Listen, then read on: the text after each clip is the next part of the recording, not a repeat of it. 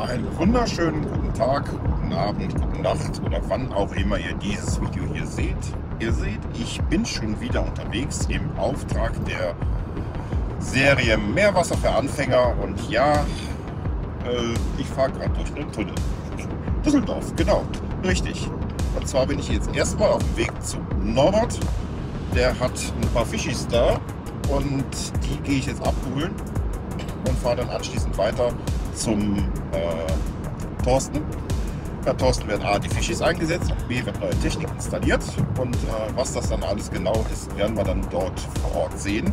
Und vor allem, warum wir neue Technik installieren. Weil das, was installiert ist, sah ja eigentlich gar nicht mal so schlecht aus. Aber, und das Aber, das klären wir dann später. Also, in diesem Sinne, es wird spannend. Es kommen wieder einiges an Themen. Warum, weshalb, wieso. Und äh, ja, wir sehen uns dann später.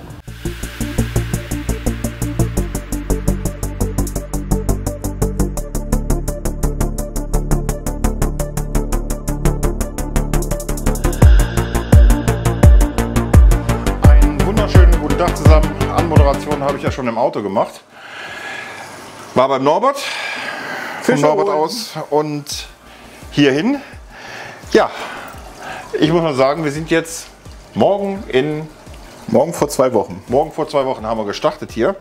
Und ähm, ich blende euch gleich mal schon mal einen Schwenk durchs Becken mit ein. Ähm, es ist einfach grauenvoll.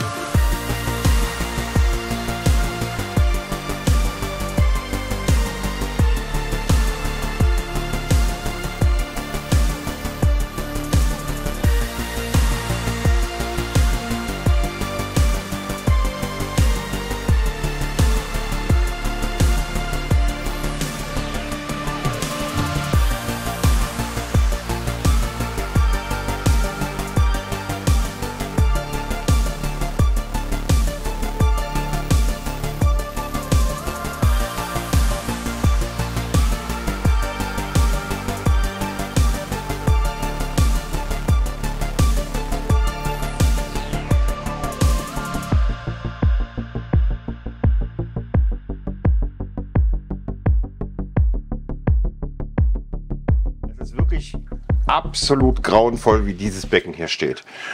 Äh, wir haben tatsächlich, äh, habe ich gerade eben gesehen, hier unten an, an der äh, Confusa haben wir auf der Rückseite ein bisschen Algen. Also das, das, da musst du sofort dran. Also ne, das, das geht so nicht. Der geht gar nicht. Nein, also man muss pauschal sagen, dieses Becken steht hier wie eine Eins, wie eine Bombe. Und ähm, letzte Woche sind die ersten Lebewesen eingezogen. Nee, vor 14 Tagen sind die ersten Lebewesen eingezogen, nämlich die Korallen. Haha. Also, Korallen sind Lebewesen. Wer es noch nicht wissen sollte da draußen. Ähm, und eine Woche später bist du hingegangen und hast dann hier bei Wunschkoralle war das, glaube ich, ne? Wunschkoralle in Kamen, ja. In Kamen. Ähm, Holst du schon mal aus? Der hat, ähm, habe ich mir vier Hummelschnecken geholt. Die sind so kleiner, die fressen Detritus und auch kleinere Parasiten sollen die fressen. Mhm. Dann habe ich mir sechs Mexikaner-Turbos geholt und das sind absolute Rasenmäher. Also wirklich Rasenmäher. Ich hatte überall so kleinen grünen Aufwuchs Mhm. bekommen. Und wie man jetzt sieht, alles weggefressen. Ich habe nicht geputzt. Das Einzige, was ich gestern Abend mal geputzt habe, waren die Seitenscheiben. Aber sonst Boden nicht geputzt, Rückwand nicht geputzt, oben die Nüpsel nicht geputzt. Das haben alles die Schnecken Das wegrasiert. ist also, man sieht im Endeffekt, du hast eine leichte Patina auf den Scheiben, aber äh, das ist wirklich geringfügig. Äh, hinten an der Rückwand blende ich gleich auch mal ein, ist eine von diesen Tischtennisbällen, äh, weil die sind pauschal ungefähr so groß. Äh, das ist natürlich auch die richtige Größe hier. Ne? Also die, die verrichten genau die Arbeit, die sie verrichten sollen, gehen an den Aufwuchs dran. Der, der jetzt im Endeffekt ja, momentan halt auch vernichtet werden soll. Ähm, ja, da an der Confuser, das äh, ist eine Sache, da kann dann, wir kommen nicht überall hin, das muss man jetzt auch dazu sagen. Wir gehen jetzt diese Woche den nächsten Schritt und ähm, ihr seht es wahrscheinlich da unten schon im Technikbecken. Sieht man das? Ja, sieht man. Ähm, ich habe beim Norbert habe ich Fischis organisiert, die haben wir uns vor 14 Tagen da schon reserviert. Ähm, Streifen, Streifenzwergheiser, Dispenosas sind das. Genau. Hm. Äh, ich blende den wissenschaftlichen Namen nochmal ein. Ihr wisst, ich habe es dann nicht so mit. Ähm, das sind, ist ein Pärchen, neun Jahre alt. Die hat er aus einer Beckenauflösung. Also stabile Tiere. Ja. Das ist schon mal Daumen hoch. Also ähm, das ist schon mal sehr, sehr gut. Und ähm, die bringen uns im Endeffekt jetzt die, das Ammonium ins Wasser. Die bringen Phosphat mit ins Wasser durchs Füttern, das Nitrat bzw. Den, den Stickstoff, den wir dann im Endeffekt brauchen. Und das ist jetzt der nächste Schritt. Und bis jetzt sind wir ja hingegangen und haben hier über die, die Nutriton ähm, N und P die äh, Versorgung gemacht. Und jetzt kommt halt das Futter dazu. Und jetzt kommt dieser Balanceakt rauszufinden, was muss ich zudosieren, wie viel Futter muss ich reinpacken, damit meine Fische zufrieden sind. Die sind übrigens nie zufrieden. Ja. Die fressen 24-7, wenn sie könnten, dann hast du anschließend einen Kugelfisch. ähm, aber grundsätzlich, ja, vom Füttern her so machen, dass das Futter, was eingegeben wird, durch die äh, Tiere im Endeffekt innerhalb von ja, zwischen 30 Sekunden und einer Minute weg sein sollte. Dann kann sich auch nicht so viel im Riff ablagern. Das ist erstmal der Punkt. Ja, ich würde sagen, ähm, wir setzen die Tierchen eben ein und dann sehen wir uns gleich wieder. Bis gleich. Ja, Ladies and Gentlemen, wie Sie sehen, sehen Sie nichts. Klar, logisch. Die Tierchen haben sich äh, jetzt ein bisschen versteckt. Ähm, die sind relativ, ich sag mal, relativ groß, also ungefähr in dieser Größe. Ich blende sie gleich nochmal ein, wenn ich sie nachher eingefangen kriege. Ähm, sind für dieses Becken, ich sag mal, grenzwertig tatsächlich von der Größe her, aber ähm, der schart ja schon fast wieder mit den Hufen, weil das Becken, das läuft ja jetzt gerade erst mal 14 Tage hier. Und äh, hier auf die Wand möchte sich dann das nächste hinstellen. Und Ja. zwar auf die komplette Wand. Ähm, ich werde ihn ein bisschen einbremsen, also von einem Dreivierteljahr auf einem Jahr nicht. Na gut. Ähm, weil es ganz einfach definitiv erstmal ums Kennenlernen, um Handhabung etc. gehen soll. Und das machen wir dann dementsprechend erstmal mit dem Kleinen hier. Aber es wird ein größeres kommen, definitiv. Das heißt, wir können also diese Tiere auch definitiv hier vernünftig einsetzen. Ja, das nächste Problem, was wir hatten und haben, ist tatsächlich ähm, hier unten unser Abschäumer. Ihr seht, der läuft, ja. Ihr seht aber auch, hoffe ich, äh, ansonsten blende ich es nochmal ein, der steht hier unten auf einem Podest. Damit der so läuft. Wir haben hinten den, eine Mög- Möglichkeit, den Wasserstand zu regulieren. Ja. Aber wir können es nicht so weit runter regulieren, dass der vernünftig laufen würde. Hier in diesem Becken. Ich habe schon von vielen gehört, dass der nicht so schön einzustellen ist, äh, wie eigentlich gedacht, wie es sein sollte. Und von daher haben wir uns im Endeffekt jetzt dazu entschieden, ähm, von Aquabi uns den äh, 160 DCI, Ja. äh, 160i DC, so, oder äh, ich blende es nochmal ein, ähm, zu holen. Der ist für Aquariengröße von 250 bis 650 Liter. Das heißt, wenn hier noch ein Zwischenstep kommen sollte, schauen wir mal, ähm, haben wir schon mal den passenden Abschirmer dafür. Aber er lässt sich auch definitiv, weil es ein DC ist, ähm, mit einem regelbaren Netzteil, also sprich mit einer regelbaren Pumpe und einem vernünftigen Keilrohr, so gut einstellen, ähm, dass wir den hier auch vernünftig betreiben können. Weil momentan, wie ihr seht, wird ja Material da unten rausgeholt, aber der holt uns meiner Meinung nach zu viel raus. Ich möchte den in, gerade in der Anfangsphase jetzt hier trockener haben, weil das Material, was wir durch das Nutriton äh, N und P reinkippen, ist ja im Endeffekt äh, für die Korallen gedacht. Und das zieht ja uns raus jetzt hier mit Masse. Zu schnell, weil wir auch nicht richtig justieren können. Also ich, ich, ich werde mir noch irgendwann noch mal vornehmen, aber ähm, so einfach, wie es tatsächlich mit dem Aquabi geht. Und du hattest ja auch gesagt, dass gegebenenfalls dieses Becken eine Etage nach oben wandert. Ins Büro dann Ins mal. Büro. Und ähm, somit brauchen wir natürlich auch Technik, die Bestand hat. Und das haben wir natürlich mit, der Aqua, mit, mit dem Aquabi-Abschäumer. Gut, dann gehen wir mal an den Tisch und packen das gute Stück mal aus. Ja, Ladies and Gentlemen, da sind wir am Tisch mal wieder. Äh, der übliche hier vor Ort. Ja, wird sich auch nicht ändern. Nee, erstmal nicht. Wir haben hier erstmal einen Kaffee vorbereitet. Weil könnte was länger dauern. Könnte wichtig sein. Und ja, Aquabi Kove i160 DC. So, jetzt haben wir es. Wie ihr seht, im OVP. Dieses super Teil hier, die kleinste Riffsäule der Welt, gehört nicht zum Lieferumfang. Einmal bitte auf Seite legen, bevor ich hier Kratzer auf dem Tisch mache oder sowas. Dann kriege ich nämlich Ärger mit, dem, mit der Hauschefin. Und dann gucken wir erstmal hier, was wir alles kriegen. Also erstmal hier der OVP, da gehen wir jetzt gleich dran. Dann haben wir hier so ein schön rosa eingepacktes Gerät. Ich befürchte, das ist der Controller. Der ist beim 160 und beim 130 mit einem süßen kleinen Poti, also stufenlos einstellbar, das Ganze. Und mit einem An- und Ausschalter. Hier unten haben wir die Anschlüsse für den äh, Abschäumer selber und einmal für die Stromversorgung und ein Kontrolllämpchen, ob Saft drauf ist. Da unten. Erstmal das. So. Dann haben wir die Stromversorgung, die immer sehr wichtig ist. Und da bin ich dann auch immer froh, wenn ich solche Geräte hier in die Hand kriege, nämlich die guten Meanwell-Netzteile. Die arbeiten nämlich schön sauber, bringen immer zu, sagen wir, zu 99 Prozent die gleiche Spannung. Heißt im Endeffekt auch, das Ding läuft so, wie es laufen soll. Qualitätsnetzteile lege ich großen Wert drauf. Ähm, die Firma Aquabi auch. Und somit, ja, definitiv auch wieder ein Pluspunkt.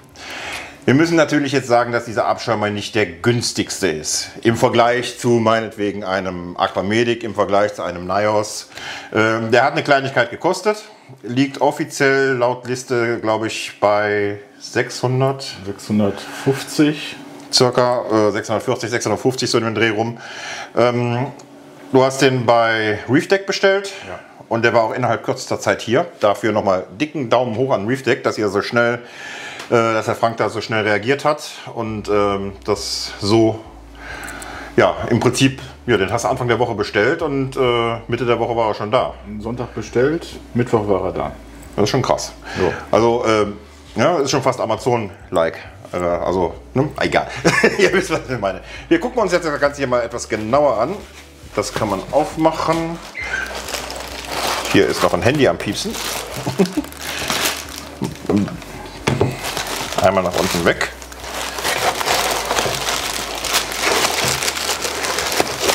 Yep. So. Und dann schauen wir doch mal, in welchem Zustand wir das hier alles bekommen. So. Er ist im Prinzip zu 90% vormontiert. 90% heißt, wir sollten definitiv alles nochmal überprüfen und uns alles anschauen. Wir haben einmal hier eine entsprechende Zuleitung, die ist, glaube ich, blende ich ein, so und so viel Meter lang. So, dann haben wir hier unten die Möglichkeit, das ganze Gehäuse zu öffnen. Das geht aber erst, wenn du den rausgezogen hast. Vorsichtig, genau. Dann wird das Ganze verdreht. Das ist ein Bajonettverschluss und einfach nach oben weggezogen. So, dann haben wir hier unten Motoreinheit. Da siehst du, da geht die Klappe schon ab. Da müssen wir einmal kurz schauen, ob alles okay ist. Wir haben hier den Schaumverteiler drauf. Der ist auch schön fest. Bei dem ist es wichtig, dass der mit der Montageschraube so ausgerichtet ist, dass er nicht ans Seitengehäuse drankommt und dass diese Öffnungen hier regelmäßig gereinigt werden. Habe ich jetzt bei meinem gesehen, äh, gemacht neulich, ähm, sah ganz schön schlecht aus. War heftig. Äh, wir machen mal ganz kurz einen Schnitt. Ich muss mich eben trockenlegen. So, bin ich wieder. Also, der Blasenverteiler ist wichtig, dass er so ausgerichtet ist. Der hat hier hinten bei dem 160er sind keine Bohrungen drin. Die gehören nach hinten, anders kann man ja eigentlich auch gar nicht montieren. Wir haben hier unten die UP 2000-1. Das ist die Skimmerpumpe. Die lässt sich eigentlich relativ einfach abmontieren. Machen wir jetzt einfach mal. Da ist eine Verschraubung. So, dann haben wir im Prinzip die Einzelteile hier. Und dann können wir, Moment, lass mich eben gucken. Genau. Die Kappe abnehmen. Hier unten sind die Öffnung der Schwalbenschwänze. Und dann kann man die, wenn man die hier sauber draufpackt, nach hinten rausziehen und hat die Pumpe in der Hand. Das ist auch alles hier ohne Werkzeug zugänglich. Bei den größeren Modellen ist es so, dass die Grundplatte hier noch einen zusätzlichen Ring drauf hat, weil der äh, Topf an sich höher sein muss. Aber der 160er, der geht halt tatsächlich noch ohne Werkzeug. Das ist sehr schön. So, beim Abziehen sehr vorsichtig sein. Die Welle steht ein Stück hier raus.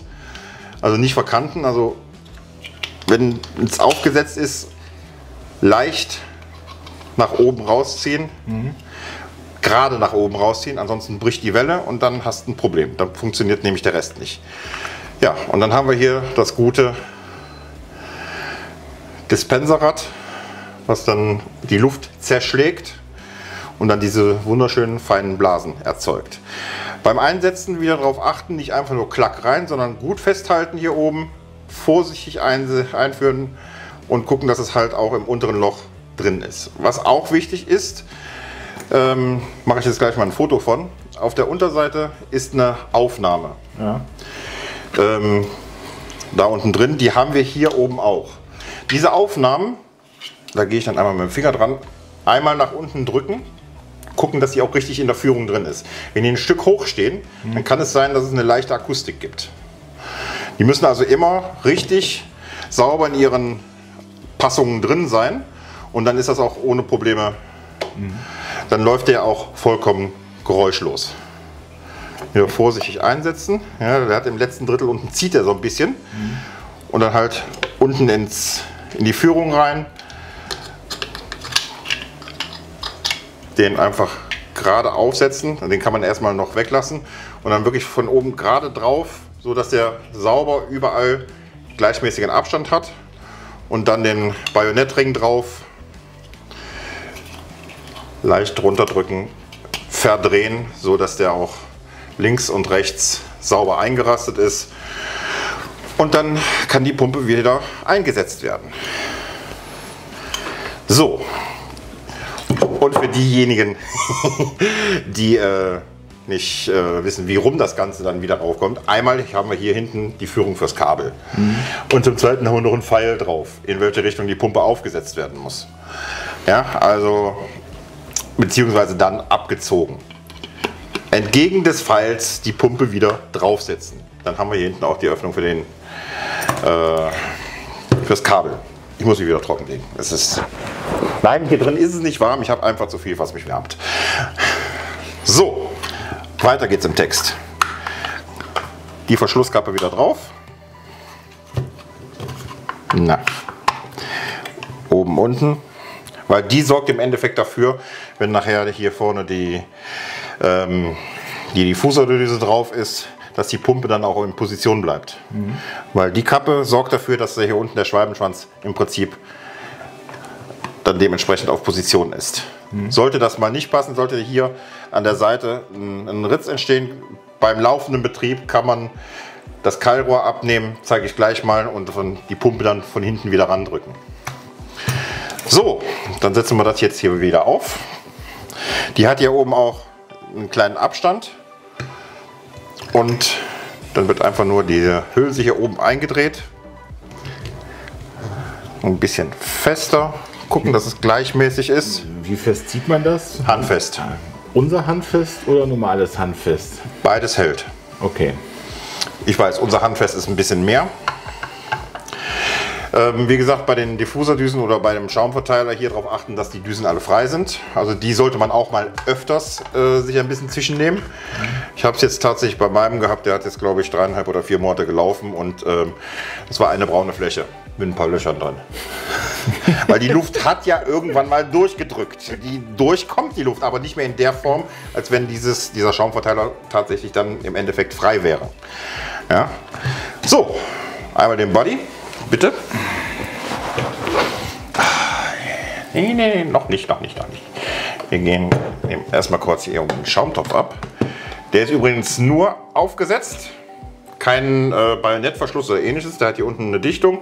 Da kommen wir jetzt gleich zu. Dann haben wir hier, machen wir eben auf Seite, haben wir die Möglichkeit, das Keilrohr so rauszunehmen. Hier oben ist eine, ist eine Skala dran, die ich dann dementsprechend einstellen kann oder mir auch dann auf Position runterziehen kann, da wo ich sie haben will. Dann haben wir unten den, die Aufnahme, das Tierstück. Ah, komm raus. Und ihr seht schon, kurzes Stück, kurzes Stück nach unten, langes Stück nach oben. So gehört sich das. Und wir haben eine, also eine Gummidichtung, die an das Gehäuse angepasst ist. Das heißt, wenn wir die einsetzen, muss die auch vollständig sauber überall anliegen. Die hat ein kleines bisschen Spiel. Und wenn da jetzt das T-Stück reinkommt, hat die kein Spiel mehr. Dann sitzt sie nämlich fest dran. Dann wird das Keilrohr von oben eingesetzt. So, und das ist jetzt tatsächlich schon so, dass es hier oben sauber drauf anliegt. Wenn da Max steht, also wenn, wenn der Pfeil hier auf Max ist, dann haben wir die maximale Öffnung, das heißt den geringsten Wasserstand. Steht da oben off, dann ist das Ding hier zu und das Ding quillt über. So, dann haben wir hier noch unseren einstellbaren ähm, Schalldämpfer. Hier drüber könnten wir, wenn wir wollen, die Luftmenge auch noch regulieren. Wir haben also mit diesem Gerät hier drei Möglichkeiten der Einstellung. Wir haben einmal den Wasserstand, den wir über das Keilrohr einstellen können. Wir haben die Motorleistung, die wir den Controller einstellen können. Und wir können die Menge an Luft noch reduzieren oder ähm, aufs Maximum stellen. Also ich gehe grundsätzlich hin und habe das Ding, wollte das Programm offen. Aber das wären noch Einstellungsmöglichkeiten, wenn wir jetzt Probleme hätten. Und hier oben würde dann die äh, pH, den, die CO2-Absaubung äh, drankommen? Du meinst den Atemkalk? Genau, den meine ich. Ja, der würde dann dementsprechend da, da äh, aufgesetzt. Also sprich, man hat man eine externe Kartusche. Ja die, worüber die Luft angesogen wird und dann wird das Ganze hier oben angeschlossen. Zusätzlich hätten wir noch eine Möglichkeit, wenn wir das wollen, wenn es notwendig ist, äh, Ozon hier mit äh, zu verbauen. Dafür bräuchtest du aber eine separate Düse. Mhm. Die gibt es bei Aquabi, ich glaube, kostet 10, 15, 20 Euro so im Dreh rum. Die hat dann eine separate Bohrung, wo du dann direkt den ähm, Ozonanschluss hier an der Düse anschließen kannst. Das heißt, du musst das Ozon nicht zusätzlich zuführen. Mhm das ist auch in Verbindung mit Atemkalk nicht gerade ratsam, weil das beides reagiert ein bisschen. Äh, ne? Ozon ist da sehr radikal. Wird dann direkt selbstständig, so wie bei mir auch, über diese Düse gezogen. Gut, zum Verbauen. Darauf achten, dass das Gäbelchen hier hinten in der Führung ist. Und wir haben nur eine Möglichkeit. Ähm, da wo der kleinere Loch ist, das ist vorne, verdrehen und auch jetzt diese Schräubchen leicht anziehen, bitte. Leicht. Okay. Ja, wenn wir jetzt handfest sagen, ähm, es sind Kunststoffschrauben. Und äh, wenn der Bär da drüben das Ding anzieht, dann ist äh, ja, Feierabend. Wir sollten auch darauf achten, dass wenn wir hier reingucken, dass wir einen gleichmäßigen Abstand links und rechts rundherum haben. Aber das ist auf jeden Fall gegeben. Und da haben wir das schon. Seht ihr das? Hat sich verschoben. Jetzt haben wir die, die Problematik, dass wir das von hinten gegendrücken müssen, weil das Gehäuse nicht hundertprozentig ausgerichtet ist. Ob das jetzt das Gehäuse ist oder wie auch immer, also leicht am besten das Gehäuse loslassen. Meine Angstschweiß, dass ich irgendwas kaputt mache oder Mist hier erzähle, aber letzteres tue ich ja grundsätzlich. Wurde mir ja irgendwann mal bescheinigt. So, Zack, so haben wir es. Jetzt kann ich auch von hinten nochmal gegendrücken. Ja, die muss eigentlich, so war sie richtig. Also die Schrauben erst anziehen, wenn die, die Ansaugung, die Diffusordüse vorne drauf ist, leicht anziehen, dann haben wir auch die richtige Position. Dann ist es auch nicht nötig, von hinten nochmal nachzufassen. Aber das wäre dann halt jetzt genau die Situation gewesen, die ich zeigen wollte, dass halt das möglich ist, dass die Pumpe dann halt auf Position geschoben wird. So, die hinten wieder. Ne, müssen wir ein bisschen fester zupacken, weil das noch nicht. So, kommst du? Ist noch ein bisschen schwergängig, aber das ist normal. So. Zack. That's it. Dann haben wir die Einheit schon mal fertig. Kommen wir zum Schaumtopf. So, A trockengelegt, B ein bisschen Kaffee getrunken, weiter geht's. Dann haben wir hier noch unseren Topf. Der ist schön zugeklebt, weil da sind noch Zubehörteile drin. Die sind wichtig, weil da sind auch Ersatzteile dabei. Direkt schon im Vorfeld für die zu starken Leute. Das finde ich gut. Ja, da haben wir hier einmal kleine Schräubchen, die hier unten dran kommen. Dann haben wir ein Ersatzschräubchen unten für, die, für den Motor. Dann haben wir ein Mikroschräubchen, wo ich keine Ahnung von habe, wo es hinkommt. Wo sitzt du? Egal. Muss ja irgendwo einen Sinn haben. Und wir haben eine Ersatzschraube hier oben für den Schaumverteiler. Wichtig. Wegtun, gut wegtun, damit man dann, wenn man es braucht, nicht wiederfindet. So, dann haben wir hier noch einen wunderschönen Abstellsperrhahn. Der kommt jetzt gleich am Ende des Schlauchs drauf. Da kannst du dir noch ein anderes Stück Schlauch dran machen, wenn dir das nicht lang genug ist. Und wir haben natürlich die Möglichkeit, komm raus da. Keine Arme, keine Kekse, so. Dieser Topf hat hier unten die Möglichkeit, hier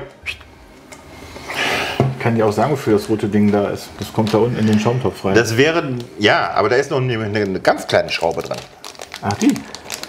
Ist sie? Okay. Die habe ich jetzt auch noch nicht gesehen. Ne, die habe ich auch noch nicht gesehen. Warte mal. Ich habe da eine Idee. Genau. Das ist eine Ersatzschraube für die Füße. Aber da ist kein Ersatzfuß dabei. Verdammt. Auch noch. Da. Doch. Also, Ablassschlauch ist praktisch, wenn man relativ viel äh, abzuschäumen hat. Der wird einfach ganz normal hier oben aufgesetzt, so weit wie möglich drauf nach Möglichkeit, damit er sich nicht selbstständig löst und die ganze Plöre wieder zurück ins Becken läuft. So, dann haben wir die Möglichkeit zu sagen, setzen den mal hier oben drauf, ist einfacher. Ähm, wir nehmen diesen wunderschönen Stopfen. Das ist aber immer, ja, wenn ich dir eine, ne, doof. Geht. Man kann aber genauso gut diesen wunderschönen Hahn hier nehmen, noch einen Schlauch dran machen, so wie ich das gemacht habe. Und dann lege ich mir den hier zwischen und dann kann ich mir den dann nehmen, wenn ich ihn brauche. Das heißt, den Stoppen kannst du auch wegpacken. Ja, dann haben wir hier im Topf selber noch ähm, eine entsprechende Anzeige dran. Bubble Level. Bis dahin sollte dann eingestellt werden, Minimum und Maximum. Bei einem ganz frischen Becken ist das jetzt erstmal, äh, ich sag mal, würde ich ungefähr bis hier unten versuchen einzuregeln und gucken, was passiert. Weil, wie eben auch schon gesagt, wir haben vor, hier erstmal nicht so viel an Material rauszuholen, weil unsere Korallen das ja erstmal brauchen. Wir müssen erstmal Material reinbringen. Wenn wir dann, der Abschirmer dann, ich sag mal, und das Becken so einen Monat oder anderthalb läuft, dann kann man mit dem Level langsam höher gehen. Bei mir ist es teilweise so, dass ich den, den, Level hier stehen habe, damit überhaupt noch was vernünftig rauskommt. Und ähm, ja, es ist dann, wenn, wenn er nichts rausholt, ist nun mal nichts drin. Ja, und wenn das Ding dann mal zusammenbricht, dann baut er sich dann auch irgendwann wieder auf. Das ist normal. Ja, aber alles in allem, hast du den jetzt schon mal in den Finger gehabt? Was sagst du vom Material her im Vergleich zum Nios? Also geile Qualität, richtig dick. Und ich habe ja auch für die UVC die andere Aquavit-Pumpe, die 1000er. Und davon hört man gar nichts. Also ich bin jetzt schon mal bisher begeistert. Also, Ja, dann würde ich mal sagen, bauen wir das Ding mal ein und sehen uns gleich am Aquarium wieder. Lange Rede, kurzer Sinn. Äh, eingesetzt haben wir ihn. und ihr seht, es ist ziemlich knapp. Der Typ da drüben, Man könnte vorher mal messen und nicht sagen, das passt schon. äh, genau, der hat nämlich nicht gemessen, aber ich äh, hatte das selber auch im, im Hinterkopf, dass es einigermaßen passt. Es ist eng, aber es passt. Wir haben jetzt im Endeffekt hier hinten den, den Wirbelbett haben wir versetzen müssen. Aber es kommen ja noch technische Änderungen wieder hier rein. Momentan haben wir ja hinter dem Abschirmer noch eine Aquabi 1000 laufen für die UVC. Ähm, er hat gerade versucht draußen zu kleben, hat aber das Rohr dann auch wieder falsch rumgeklebt. Also ähm, ja, die Änderung kommt noch, macht er noch selber. Also wenn die rauskommt, dann kann der Abschirmer auch ein Stückchen weiter nach hinten oder ein Stückchen weiter nach vorne. Dann haben wir dann da Platz für den ähm, AF80. Nee, Nee. Ähm, AC80, R80, R80 heißt der. R80. Aquabi R80. Ja. Der kommt nämlich dahinter, der ersetzt den Medienreaktor von ähm, Aquamedic. Hat er sich einfach so dazu bestellt, hat mir das nicht gesagt. Mal gucken, ob er reinpasst. äh, ja, äh, sage ich jetzt erstmal nichts zu. Aber okay, wir werden es sehen. Ja, alles in allem, ihr seht, äh, der läuft jetzt hier. Kleinigkeit habe ich noch zu berichten, beziehungsweise darauf hinzuweisen. Hier unten der Stecker an dem Controller zum Abschirmer hin. Da ist ein Feingewinde dran. Wenn ihr den äh, dementsprechend so einen Abschirmer zusammensetzt, auch für dich mit deiner geringen Körperkraft hier, ne? ähm, leicht anziehen. Das ist ein Feingewinde. Also zusammensetzen, anschrauben, merken, zack, da ist ein bisschen Widerstand, alles klar, da ist Ende, nicht weiter drehen, nicht zu fest drehen das Ganze, sonst kriegt ihr das nicht mehr auseinander. Weil, wenn ihr die Pumpe reinigen wollt, müsst ihr das ja auch abmachen. Wenn es hier nicht direkt vor dem Aquarium ist, ähm, müsst ihr den Stecker ja auch wieder abkriegen. Also, darauf aufpassen. Wir haben jetzt einen Wasserstand von 21 cm Auf dem Kopf. auf dem Kopf, ähm, eine Pumpenleistung von ca. 70 Prozent eingestellt und ähm, der läuft jetzt hier 10 Minuten. Ihr seht, der produziert jetzt hier schon den ersten Schaum, den festen Schaum, den er rausdrückt. Der kann jetzt noch ein kleines bisschen wahrscheinlich zurückgestellt werden erstmal, weil wir wollen ja, dass er halt nicht zu viel rausholt. Und äh, ja, leise ist er. Wunderbar. Und das Geplätscher von eben haben wir auch weggekriegt. Er hatte die Cups nämlich rausgeholt.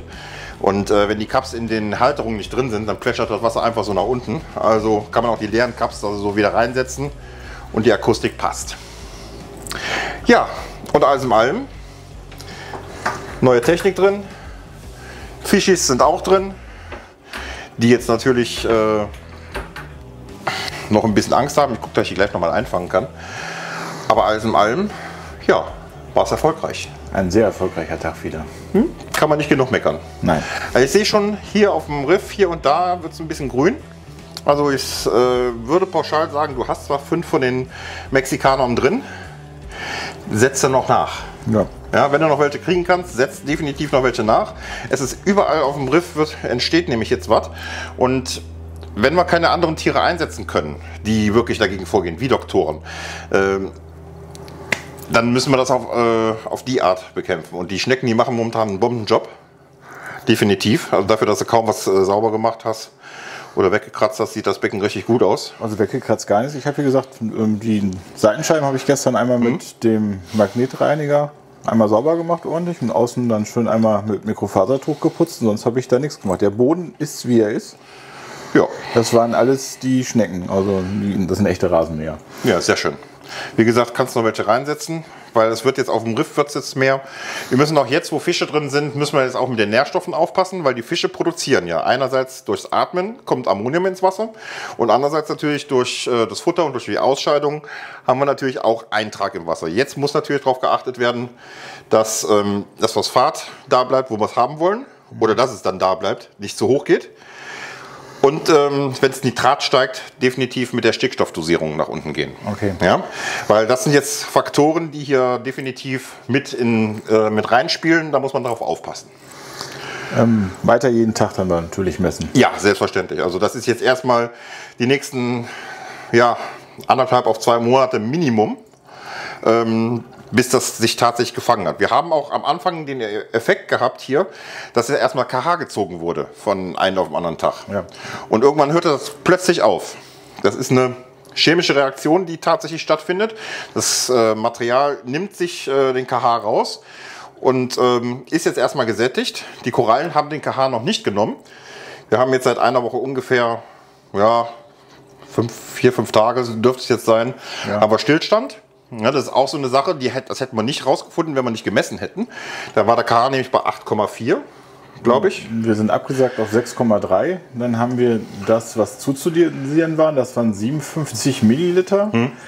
Und dann haben wir ja ähm, drei Viertel oder zwei Drittel nochmal oben drauf gepackt für die Tagesdosis. Also Ja. sind an dem Tag so gut knapp 100 Milliliter reingegangen. Dann waren wir auf 8,2. Dann hatten wir das gedrosselt auf 12 Milliliter am Mhm. Tag, damit wir dann das gleich halten konnten. Und da hatten wir dann schon gesehen durch das Messen, dass es dann um 0,2 nochmal gestiegen ist. Und seitdem haben wir das aus. Das ist jetzt vier Tage her. Müsste Ja. ich gleich mal meine Unterlagen gucken. Die Korallen äh, haben sich im Endeffekt, ähm, ich sag mal, die nehmen sich jetzt erstmal das, was sie brauchen. Und das ist natürlich erstmal Stickstoff und äh, das Phosphat. Und im nächsten Step, wenn die sich dann in der, in der Gesamtumgebung wohlfühlen, fangen die wieder an mit, mit dem Wachstum, also sprich mit der Kalzifizierung. Das setzt erstmal dann mit dem KH ein. Dann wird der KH von den Korallen wieder gezogen. Das sehen wir da tatsächlich nur, wenn wir messen. Und im nächsten Step, wenn es dann richtig losgeht, dann fängt das Calcium an. Okay. So, und wenn sich das dann richtig eingespielt hat, dann gehen wir ja mit den Essentials hin und dosieren tatsächlich KH und das Calcium von der Menge her gleich ins Becken. Wenn das alles sich eingespielt hat. Das ist die grobe Vorgehensweise, so wie wir es jetzt demnächst machen. Wie du es jetzt demnächst machst. Also täglich grüßt das Murmeltier, einmal messen.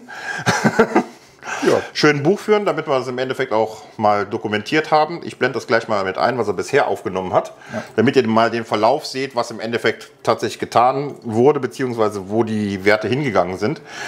Aber alles in allem, ihr habt es eben auch schon gesehen, als ich, als ich mal kurz durchs Becken gegangen bin, das steht alles sehr, sehr gut. Wir haben jetzt hier oben äh, eine Acropora, ist eingesetzt worden.